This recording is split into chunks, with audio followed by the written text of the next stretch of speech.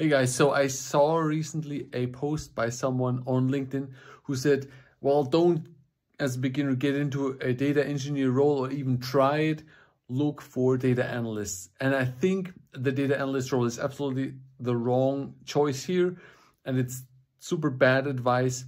What you need to do if you're into engineering, you need to get into other roles that are adjacent to the data engineer maybe a bit lower, maybe only that does a subset of the tasks that we do as data engineers.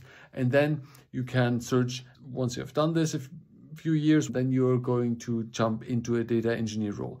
And actually, to give you an idea what these roles are, I went on to ChatGPT and I just created a small list for you. So check this out. So roles that make sense here. ETL developer, data ops engineer, cloud engineer, right?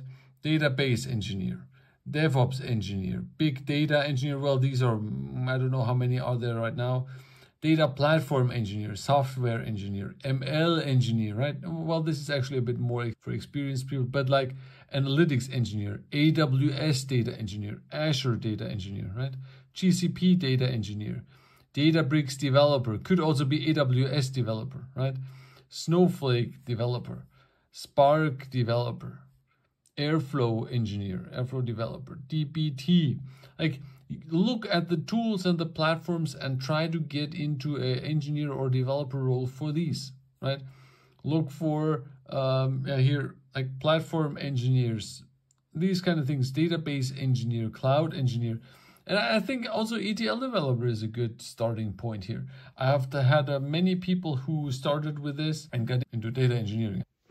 And that's like that's a good way of doing it. Of course, if you are a data analyst, then you can get into data engineering and it's an easy way actually to do this. But you shouldn't do a job first that you don't like, that you're that's not on your goal, right? Your goal is becoming a data engineer or working with data and do engineering, then you should also do this and not just do uh, the analyst role. I think that makes zero sense. So take a look into that, take a look into these roles. And if you have more, let me know in the comments which roles you have seen that would also fit.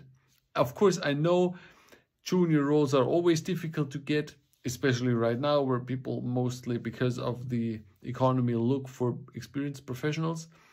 But not just focusing on the data engineer, but also on other jobs will get you that opportunity a lot easier. And yeah, I hope this helps you. Let me know in the comments what you think, if you have other roles um, that worked. And then see you in the next video.